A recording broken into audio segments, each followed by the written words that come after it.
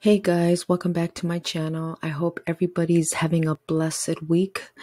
Um, and I just want to praise the Lord, and I hope that you are praising the Lord as well, for He is doing a new thing. He is shifting the atmosphere. He is bringing His glory down like never before.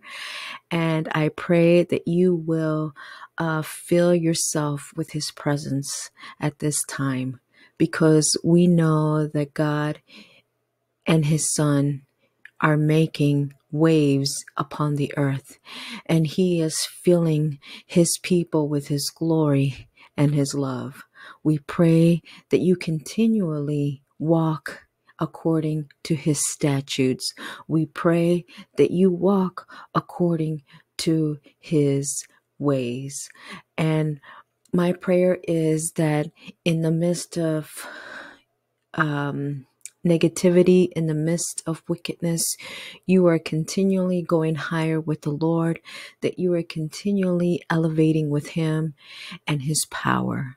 So, with that being said, guys, I'm going to talk about First Peter chapter 4, verse 14, and this is going to be a brief word. So, let's go to it. Let me read the scripture very quickly.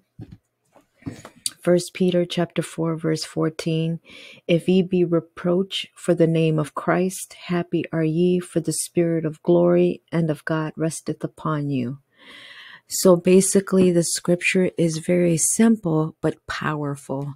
What it says here is that when you are persecuted for Christ's sake, the Spirit of God comes upon you.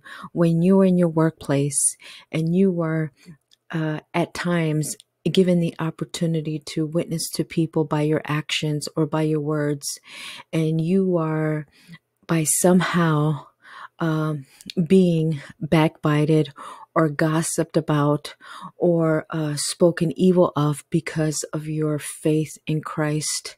The glory, the spirit of glory has come upon you. It rests upon you. However, the scripture also says that the the spirit of glory is more beneficial upon those upon those who speak and walk according to the Lord's ways. Now, when you're at work, uh, you know how some people gossip and they speak evil no matter what. Um, they don't know about the Lord. Um, so they continue to speak evil, right? So those kind of people, they will never experience a spirit of glory upon them because uh, their ways are always negative and their ways are always wicked. But the Lord says that He rather you speak good of Him and be persecuted, and the Spirit of glory comes upon you rather than you being uh, a child of God and speaking evil, and the Spirit of glory does not rest upon you. So it's more beneficial if you speak His kingdom to people because you know that the Spirit of glory will be upon you.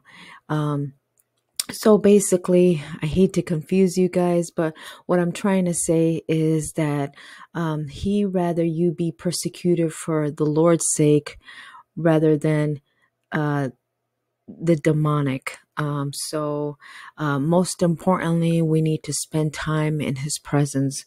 We need to glorify God in everything that we do. And yes, we are not perfect, but in our actions, in our words, um, we can try to demonstrate the power of God in our workplaces and everywhere we go. So, guys, with that being said, guys, I pray that you have continually uh, uh, uh a his his um his statutes in your heart. May he dwell within you around you and as you walk outside your doors may he overcome you with his presence like forevermore. And um, we also pray for the peace of israel. Let israel israel be at peace. Let israel overcome their enemies. In jesus name shalom